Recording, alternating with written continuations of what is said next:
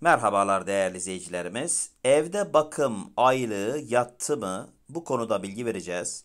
Değerli izleyicilerimiz biliyorsunuz evde bakım maaşı e, 15 Ocak'tan itibaren yatırılacak. Dolayısıyla henüz evde bakım maaşları yatmadı. 15 Ocak'tan itibaren bu ücreti alan vatandaşlarımız e-devlet üzerinden hesaplarını kontrol edebilirler. Peki evde bakım maaşı ne kadar oldu? Değerli izleyicilerimiz, evde bakım maaşını söylüyorum. 2022 evde bakım maaşı ücretleri asgari ücretin açıklanmasıyla birlikte belli oldu. Buna göre 2021'de 1798 TL olan evde bakım maaşı dikkat 2022'de evde bakım maaşı 2706 TL'ye yükseldi. Ee, evde bakım maaşı alan vatandaşlarımıza bu gelişmeyi duyuruyoruz.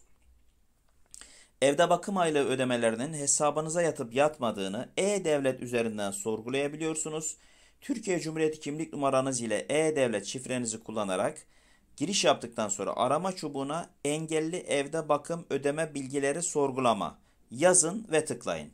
Açılan sayfada maaş ödemesi ile ilgili detaylara ulaşabilirsiniz. Engelli evde bakım ödeme bilgileri sorgulama özelliği Aile ve Sosyal Politikalar Bakanlığı sekmesinin altında bulunur.